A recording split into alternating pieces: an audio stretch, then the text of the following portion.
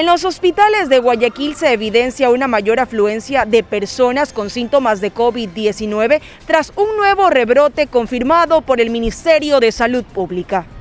El Ministerio de Salud confirmó nueva ola de COVID-19 en el país. Esto se evidencia en los hospitales tras una afluencia de ciudadanos que presentan síntomas de COVID. Ayer sentí yo, por eso vengo ahorita de emergencia.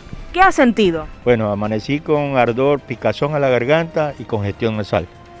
Y entonces ya hoy día vengo aquí porque para ver si, para confirmar si es solo gripe o, o, es el virus que me da. Pero yo estoy vacunado cuatro, las cuatro vacunas tengo yo. ¿Hoy se va a realizar la prueba del COVID?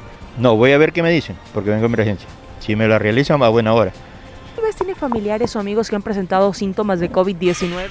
Sí. 3.126 contagiados se registraron el pasado 18 de julio, lo que constituye el número más alto de casos diarios en las últimas semanas.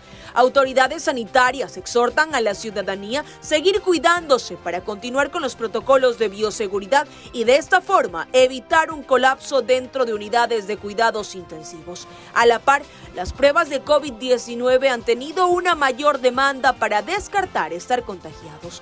Para Última Hora Ecuador, Laura Sánchez.